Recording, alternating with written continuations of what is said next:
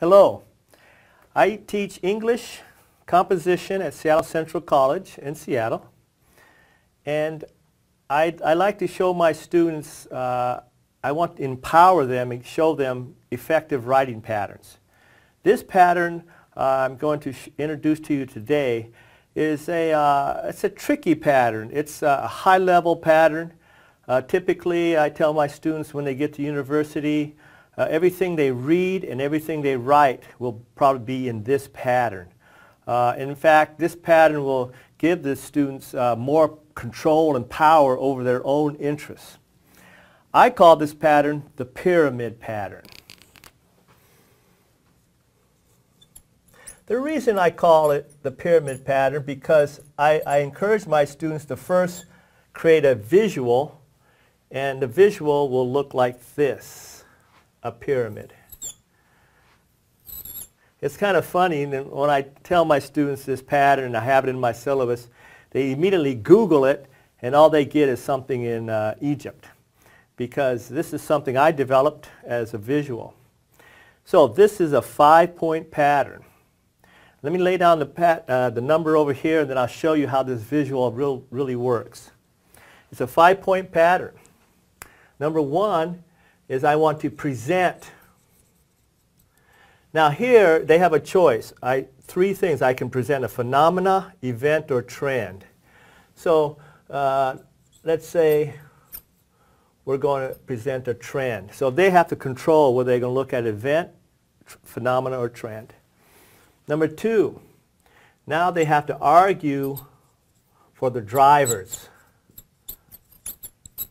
Drivers that would drive this trend. Number three, they have to argue for consequences or long-term effects. Number four, this is the counter-argument section. And I call it, uh, this is a little tricky for them to first get, but then uh, after they get it, they have it forever. And number five, the call to action.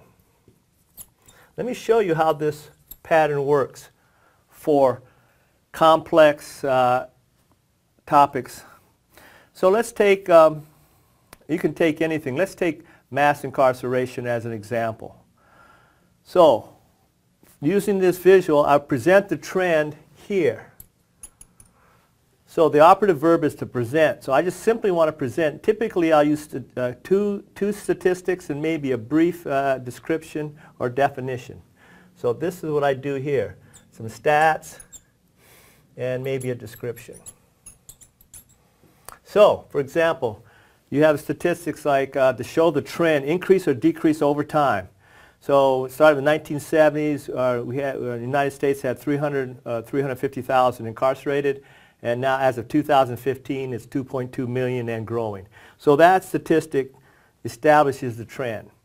Now also, I use another statistic because let's say, for example, I'm going to use Michelle Alexander's argument that this uh, mass incarceration, uh, the war on drugs is just a simple way, is a backlash to the civil rights movement of the 60s and 70s. And I'll show you how that works. So the second statistic will be the uh, percentage of uh, minorities incarcerated. And it's, it's approximately 60% or higher.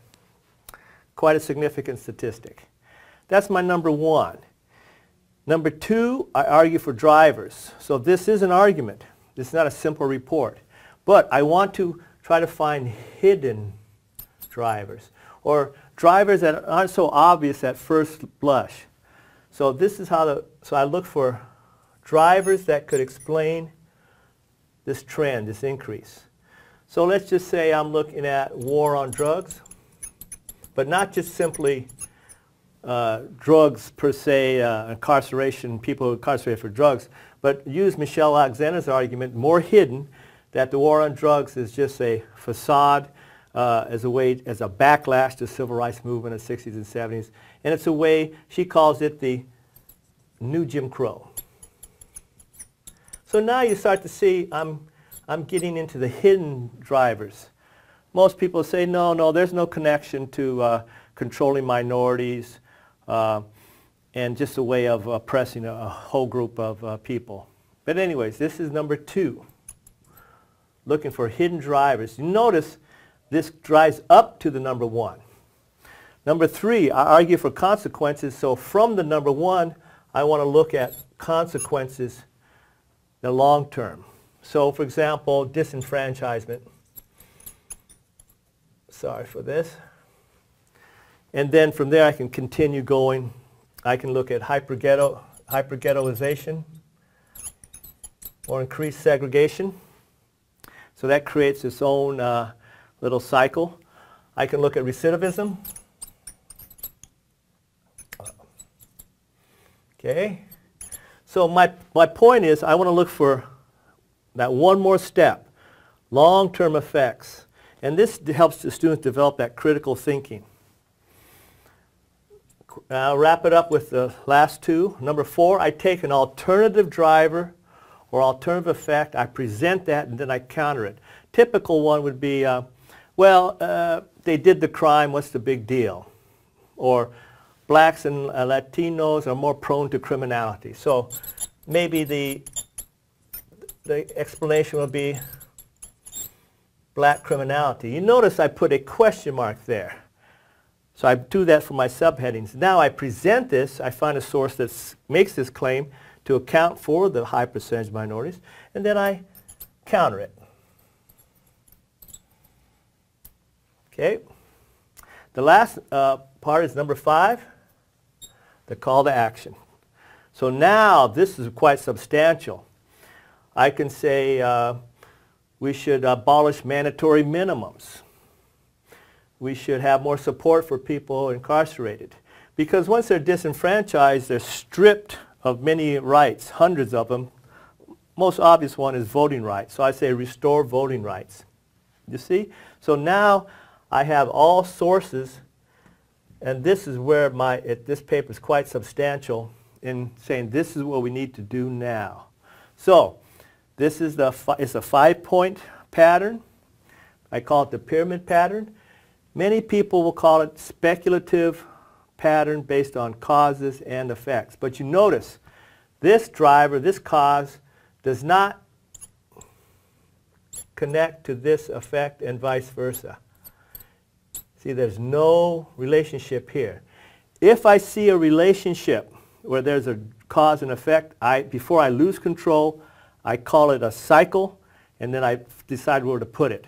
So I can put cycle of recidivism here, because I'm in control. I show the cause and effect relationship. Because typically, this is why this pattern is so slippery, is most people want to go from the driver or the cause right to the effect. And you don't want to do that. You're just arguing that these are the drivers that explain this event, trend, or phenomena. And from this event, trend, or phenomena, this is the long-term effects. Thank you.